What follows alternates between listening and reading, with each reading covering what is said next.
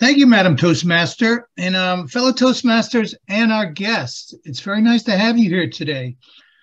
This message goes out to our guests because Toastmasters has a very effective mentoring and coaching program. And when you get into Toastmasters, you may join by yourself and alone, but you're not alone because you have a coach and mentor. However, over the years, and if you just do the math and figure out when 1981 was, you know I've been in Toastmasters for a bit. And I've also noticed and experienced an informal mentoring program in Toastmasters, mentoring and learning from the members of our club and the members of our district.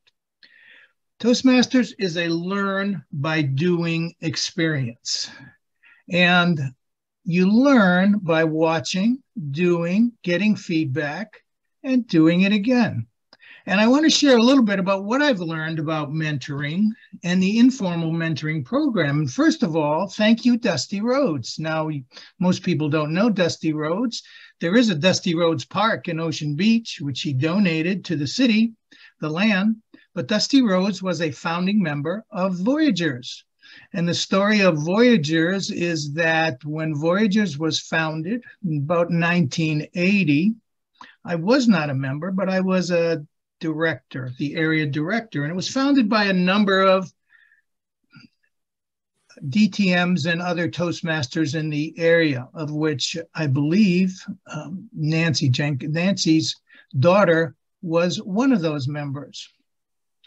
Well, after about a year, when the, those experienced members moved on, Voyagers faltered.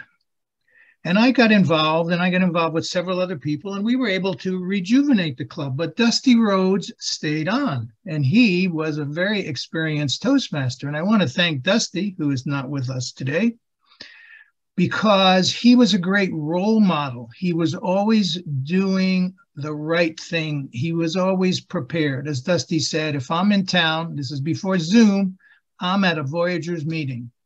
Well, he when he was in town, he was here and he was a great mentor. I can remember him talking about one of our past presidents, Donna Gillen, who has unfortunately moved out of San Diego, who we missed. But he said he mentored her as her president. And he, I can remember him saying, and this was in a loving way, he said, when she was started president, that mousy girl couldn't do anything. But look at her now. And boy, look at her now, how she gained. And I learned from Dusty, but I learned from so many other members that if you watch, and I knew that if you watch, observe, and internalize, you can learn quite a bit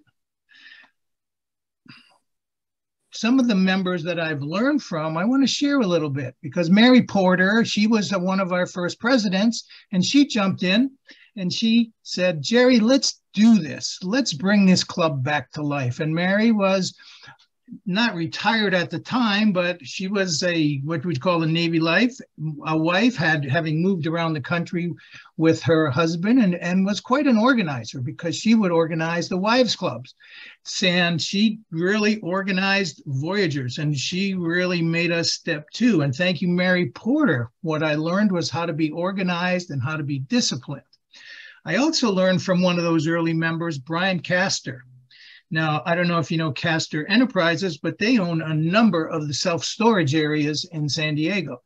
And when Brian joined, he was like right out of high school. And boy, was he rough around the edges. I always say Brian joined and he drove a Toyota, but after several years, he was in a Mercedes. And he was because he gained a lot of skills. Of course, he was in a family business that didn't hurt. But if you see Brian today, he is a leader in the business community. He's very polished, very sophisticated. And I enjoyed just watching him grow as a Toastmaster. There was another Toastmaster early on. I'll call her Helen. Helen was so frightened of speaking in public. She could not get up at a meeting and tell us her name.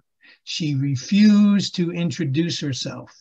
Well, Helen was determined. She wanted to become a public speaker. She wanted to be an activist. Her daughter had experienced uh, sexual aggression and rape, and she wanted to be a spokesperson against sexual aggression. And boy, did she apply herself. By the time I would say it took her about a year or so, but when she got up and gave a speech, and these are the speeches she took outside of the club, she took to organizations. She was really powerful. That's the power of Toastmasters and applying yourself. There are so many members today in our club that have come over the ages. You could see today how much we learn about people's lives. Like from, I've known Rene Ramirez for well over 30 years, and I'm always learning something about his life and about his experiences. Thank you for some for sharing that. And as a as an informal mentor, Rene, just by sharing his life, has helped people understand more about American experiences. I also learn a great deal from people like Hal Slater, who's a professional speaker. And Hal was a professional speaker when he got in, but the speeches he gave us, you could you could learn how to organize a speech, how to deliver a speech, how to have vocal variety. Current members like John Wissenberg. John is a master of vocal variety. If you listen to his speeches and you avoid his puns, you can really learn something because just the pace, the pitch, when he drops his voice, when he pauses, if you can emulate that, you can add a great deal to your speech. And I also enjoy and appreciate and have learned from the people who step in with courage. Think about Holly. This is her second language. I couldn't I couldn't speak in a second language like she does, how she applies herself, how how much courage it takes just to present yourself when you know you are stumbling over words that you don't know. Yes, thank you, Dusty Rhodes. Thank you, Voyagers. Thank you, Toastmasters. I have learned a lot.